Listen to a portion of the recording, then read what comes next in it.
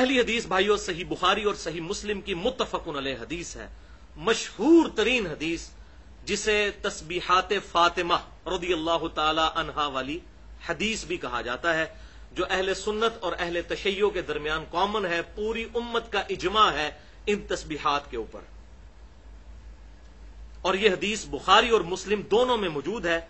सही बुखारी में international numbering के मुताबिक 6318 और 5362 और सही मुस्लिम में 6917 और यही वो हदीस है, जिसका जो तुर्क सही बुखारी में 6318 है, उस मौके पर इमाम बुखारी अलैह ने सैदना अली रदी अल्लाह तहो और सैदा फातिमा रदी अल्लाह तहा के साथ अलैहिस्सलाम का लफ्ज इस्तेमाल किया है। ये वो हदीस है 6318 सही बुखारी, इसी हदीस के कॉन्टेक्स्ट में। बल्कि इमाम बुखारी रहमत ने जो फजाइल फातिमा पर बाप बांधा है, उसमें भी उन्होंने फातिमा के साथ अलैहिस्सलाम लिखा है। बेसिकली इमाम बुखारी रहमत ने उन नासबियों का रद्द किया, जो सईदना अली रदी अल्लाह तहो के फजाइल से चिड़ खाते थे, और अहल सुन्नत का मौकफ बयान किया कि यह कोई राफदियत नहीं है आयमा अहल बैत के साथ अलैहिस्सलाम का लफ्ज इस्तेमाल करना। इसके अलावा इमाम बुखारी रहमत ने इंटरनेशनल नंबरिंग के मुताबिक तीन हज़ार सात सौ अड़तालीस नंबर हदीस सही बुखारी में फजाइल हुसैन वाले चैप्टर में जो आई, जिसमें वो अल्फाज आते हैं कि जब हुसैन अलैहिस्सलाम का सर मुबारक उबैदुल्ला इबन जियाद के सामने लाकर रखा गया और वो छड़ियाँ मारने लगा, ये हदीस जब इमाम बुखारी लेकर आए तो सईदुल हुसैन के साथ अलैहिस्सलाम का लफ्ज उन्होंने इस्तेमाल किया। और खाली इमाम बुखारी का यह मौकफ नहीं, सुनन अबी दाऊद के अंदर चार हज़ार छह सौ छियालीस नंबर हदीस और जामिया तिरमजी में दो हज़ार दो सौ छब्बीस नंबर हदीस में दोनों आयम्मा ने सईदना अली के साथ अलैहिस्सलाम का लफ्ज इस्तेमाल किया है। हम नमाज़ में भी अपने ऊपर सलाम पढ़ते हैं असलाम सालहीन। हम पर भी सलाम हो, तमाम नेक बंदों पर सलाम हो। लिहाजा ये कोई इख्तलाफी मसला नहीं है, ये सिर्फ़ शिया सुन्नी टसल की वजह से इसको इख्तलाफी बना दिया गया कि अम्बिया के साथ सिर्फ़ लग सकता है, तमाम के साथ लग सकता है। कई सहाब कराम मरदवान के साथ मुहदसिन ने अलैहिस्सलाम का लफ्ज इस्तेमाल किया। और नमाज़ में भी हम कहते हैं असलम वाला इबादिल्लाहीन तो इबादिल्ला सालहीन में सिर्फ़ अंबिया शामिल नहीं है, बल्कि सहाबा कराम अली मरदवान और अहले बैत और अल्लाह के नेक बंदे सारे शामिल हैं। बहरल ये तस्बीहात फातमा वाली हदीस सही बुखारी और सही मुस्लिम नंबर में बता चुका। सैदुल अली रदी अल्लाह तहो कहते हैं कि सैदा फातिमा रदी अल्लाह तहा वो घर के काम काज खुद किया करती थी, इसकी वजह से चक्की चलाने की वजह से उनके हाथों पे निशान पड़ गए थे, मशकीजा उठाने की वजह से सीने पे निशान पड़ गए थे। वो अपनी शिकायत लेके अपने अब्बा जान, यानी इमाम कायनात सल्लल्लाहु अलैहि वसल्लम की खिदमत में हाजिर हुई। उनको कहीं से पता चला था, आप सल्लल्लाहु अलैहि वसल्लम के पास कुछ गुलाम आए हैं तो उन्होंने अर्ज़ की कि मैं आप सल्लल्लाहु अलैहि वसल्लम से जाकर उन्होंने इरादा किया कि मैं ये गुलाम डिमांड करूँ। लेकिन शर्मिंदगी की वजह से बात ना कर सकी, वापस आ गई। और सईद आयशा रदी अल्लाह तहा अपनी वालदा को, अपनी माँ को उन्होंने ये बात बताई और घर वापस आ गई आप सल्लल्लाहु अलैहि वसल्लम को, सईद आयशा ने बात बताई तो आप सल्लल्लाहु अलैहि वसल्लम खुद सईदा फातिमा के घर तशरीफ़ ले गए। अब मज़े की बात सुने। सईदन अली कहते हैं कि वो रात का वक्त था। मैं और फातिमा बिस्तरे में जा चुके थे, एक बिस्तरे में, एक चादर में। आप सल्लल्लाहु अलैहि वसल्लम तशरीफ़ ले आए तो हम बाहर निकलने लगे तो आप सल्लल्लाहु अलैहि वसल्लम ने हमें कहा कि तुम इसी हालत में रहो। फिर आप सल्लल्लाहु अलैहि वसल्लम अपनी बेटी और दामाद की दिलजोई के लिए उसी एक चादर में खुद दाखिल हो गए। अल्लाह अकबर। और सईदन अली कहते हैं कि आप सल्लल्लाहु अलैहि वसल्लम दूसरी तरफ़ से ऐसे दाखिल हुए कि आपके मुबारक कदमों की ठंडक हमने अपने सीने पर महसूस की। कैसा खुश नसीब खानदान के इमाम कायनात सल्लल्लाहु अलैहि वसल्लम उस बिस्तरे में खुद दाखिल हो गए।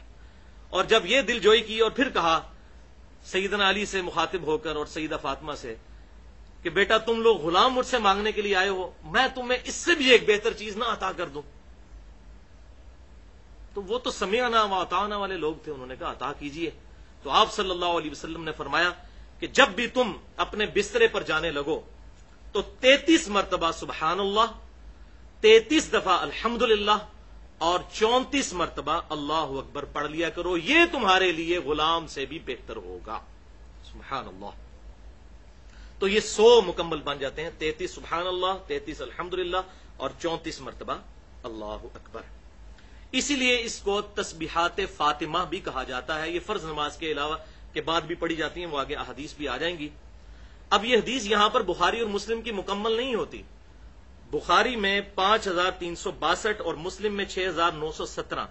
आगे अल्फाज हैं कि वो ताबी कहते हैं सईदुल अली रज़ी अल्लाह तहो से कि, ए अमीरुल मोमिनीन, क्या ये तस्बीहात जो आप सल्लल्लाहु अलैहि वसल्लम ने आपको बताई, या आप पढ़ते रहे, उन्होंने कहा कि अल्लाह की कसम, मैंने पूरी ज़िंदगी इन तस्बीहात को कभी नहीं छोड़ा।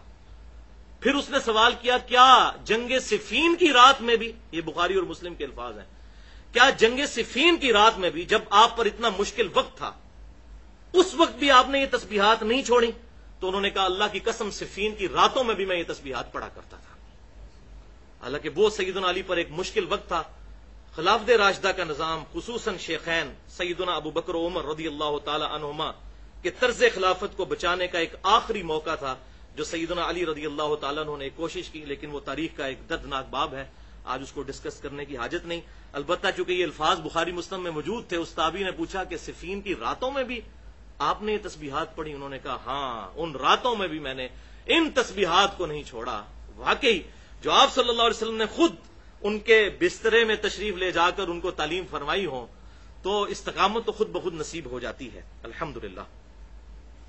दूसरी हदीस भी सही बुखारी और मुस्लिम की मुतफकुन हदीस है। बुखारी में आठ सौ तरतालीस मुस्लिम में एक हज़ार तीन सौ सैतालीस। कुछ गरीब सहाबा आप सल्लल्लाहु अलैहि की खिदमत में हाजिर हुए और अर्ज़ किया ए अल्लाह के रसूल सल्लल्लाहु अलैहि जहाँ तक नमाज़ और रोजों का ताल्लुक है तो जो अमीर सहाबा हैं और हम बराबर बराबर चलते हैं। लेकिन जहाँ पर अल्लाह की राह में खर्च करने की बारी आती है तो अमीर सहाबा हमसे सबकत ले जाते हैं। हम अल्लाह की राह में उतना सदका खैरात कर नहीं सकते। तो हम क्या करें? अब देखें, वो शिकायत भी क्या लेके गए हैं? टेंशन किस चीज़ की है? दौलत की टेंशन नहीं है। टेंशन इस चीज़ की है कि अमीर लोग सदका खैरात करके सवाब में हमसे आगे न निकल जाए। तो आप सल्लल्लाहु अलैहि वसल्लम ने फरमाया कि मैं तुम्हें एक ऐसा वजीफा बताता हूँ, अगर वो तुम कर लोगे तो ये कंपनसेशन जो सदका और खैरात की है, ये अल्लाह ताला फरमा देगा और तुम उनके बराबर हो जाओगे। और वो ये है कि हर फ़र्ज़ नमाज़ के बाद तैतीस दफ़ा सुबहान अल्लाह तैतीस दफ़ा अल्हम्दुलिल्लाह और तैतीस मरतबा अल्लाह अकबर पढ़ लिया करो। इसमें यह तैतीस दफ़ा का ज़िक्र है। और सही बुखारी के एक और तुर्क में है कि दस दफ़ा सुबहान अल्लाह दस दफ़ा अल्हम्दुलिल्लाह, दस दफ़ा अल्लाह अकबर फ़र्ज़ नमाज़ के बाद पढ़ लिया करो। और सही मुस्लिम में आगे अल्फाज ये हैं कि कुछ सहाबा ने फिर अर्ज़ किया, अल्लाह के रसूल सल्लल्लाहु वजीफा तो तुम सानू दस देता सी। लेकिन यही वजीफा अब वो अमीर सहाबा भी करना शुरू हो गए हैं हमने गरीबों ने अपने लिए लिया था, वो अमीर भी करना शुरू हो गया, फिर वो आगे निकल गए। तो आप सल्लल्लाहु अलैहि वसल्लम ने फरमाया जाली का फजल्लाती शाह भाई, ये तो अल्लाह का फजल है जिसे अता करते हैं। अब अल्लाह ताला के फजल पे कोई रोक टोक नहीं हो सकती। ये नहीं हो सकता कि मैं उनको कहूँगा तुम ये वजीफा ना करो। अल्लाह तीसरी हदीस सही मुस्लिम में एक हज़ार तीन सौ उनचास नंबर है कि आप सल्लल्लाहु अलैहि वसल्लम ने शाद फरमाया कि हर फ़र्ज़ नमाज़ के बाद ये कलेमात पढ़ने वाला कभी ना नाकाम और ना मुराद नहीं होगा। हर फ़र्ज़ नमाज़ के बाद ये कलेमात पढ़ने वाला कभी नाकाम और ना मुराद नहीं होगा। तैतीस दफ़ा सुबहान अल्लाह तैतीस दफ़ा अल्हम्दुलिल्लाह और चौंतीस मरतबा अल्लाह अकबर। यहाँ पर चौंतीस मरतबा का ज़िक्र है और ये वही तस्बीहात फातिमा। चौथी हदीस भी सही मुस्लिम में एक हज़ार तीन सौ बावन नंबर हदीस है कि आप वसल्लम ने फरमाया कि जो शख्स हर फ़र्ज़ नमाज़ के बाद तैतीस दफ़ा सुबहान अल्लाह तैतीस दफ़ा अल्हम्दुलिल्लाह और तैतीस मरतबा अल्लाह अकबर पढ़ ले, ये नाइन्टी नाइन बन जाएँगे। और फिर सौ का अदद पूरा करने के लिए एक दफ़ा पढ़ ले, ला इलाहा इल्लल्लाहु वहदहु ला शरीक लहुल मुल्क व लहुल हम्द अला कदीर। तो अल्लाह ताला उसके सारे गुनाह माफ़ कर देगा, अगरचे समुंदर की झाग के बराबर ही क्यों ना हो।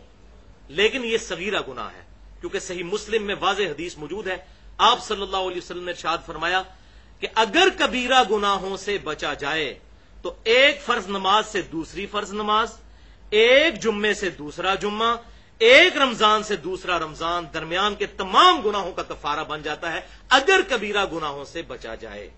तो फ़र्ज़ नमाज़ छोड़ना भी कबीरा गुना है। यह नहीं है कि एक बंदे ने एक जुमा पढ़ लिया ओके जी अगला जुमा मुस्लिम की हदीस के तहत पढ़ लिया, पिछले सारे गुना माफ़ हो गए। नहीं। अगर कबीरा से बचा जाए तो ये जितने फजाइल आए हैं, ये सगीरा के लिए है। सो का आदत पूरा करने के लिए ला इलाहा इल्लल्लाहु वहदहु ला शरीक और दूसरे मुस्लिम के तुर्क में हम सुन चुके हैं कि चौंतीस दफ़ा अल्लाह अकबर पढ़ना है, उससे भी सौ पूरा हो जाएगा। लिहाजा ये दो तरीके हैं सौ को पूरा करने के। एक दफ़ा अल्लाह अकबर पढ़ लें। तीनों तीन, तैतीस तैतीस मरतबा सुबहान अल्लाह अल्हम्दुलिल्लाह, अल्लाह अकबर। ये तैतीस तैतीस मरतबा। और फिर सौ पूरा करने के लिए या एक दफ़ा अल्लाह अकबर कह लें या एक दफ़ा ला शरीक लहुल मुल्क वलहुल हमद वहु अला कुल्ली शैइन कदीर। और बेहतर है कि इन दोनों वजायफ पे अमल किया जाए बैक वक्त।